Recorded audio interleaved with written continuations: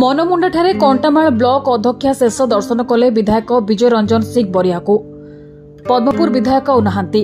ବିଧାୟକ ବିଜୟ ରଞ୍ଜନ ସିଂ ବରିହାଙ୍କ ଭୁବନେଶ୍ୱରସ୍ଥିତ ଆପୋଲୋ ହସ୍ପିଟାଲରେ ଚିକିତ୍ସାଧୀନ ଅବସ୍ଥାରେ ପରଲୋକ ହୋଇଯାଇଛି। ମୃତ୍ୟୁବେଳକୁ ତାଙ୍କୁ ଚଉଷଠି ବର୍ଷ ବୟସ ହୋଇଥିଲା। ସେ ଦୀର୍ଘଦିନ ଧରି ଅସୁସ୍ଥ ଥିଲେ। ବିଧାୟକ ଶ୍ରୀ ବରିହା ପଦ୍ମପୁର ପାଞ୍ଚଥର ବିଜୟ ଲାଭ କରି ବିଧାୟକ ହୋଇଥିଲେ।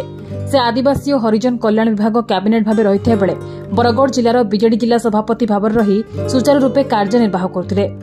ଭୁବନେଶ୍ୱରଠାରୁ ତାଙ୍କ ମର ଶରୀରକୁ ତାଙ୍କ ବାସଭବନକୁ ନିଆଯାଉଥିବା ବେଳେ ମନମୁଣ୍ଡା ଏନ୍ଏଚ୍ ସତାବନ ମନମୁଣ୍ଡା ଗାନ୍ଧି ଛକଠାରେ କଣ୍ଟାମାଳ ବ୍ଲକ ଅଧ୍ୟକ୍ଷା ଶ୍ରୀମତୀ ସସ୍ମିତା ସେନାପତି ପ୍ରକାଶ ମେହେର ଜାନି ସେନାପତି ଓ ଅନେକ ବିଜେଡି କର୍ମୀ ଉପସ୍ଥିତ ରହି ବରିହାଙ୍କ ଶେଷ ଦର୍ଶନ କରିବା ସହ ତାଙ୍କ ମର ଶରୀରରେ ପୁଷ୍ପମାଲ୍ୟ ଅର୍ପଣ କରିବା ସଙ୍ଗେ ସଙ୍ଗେ ଦୁଃଖ ପ୍ରକାଶ କରିଥିଲେ।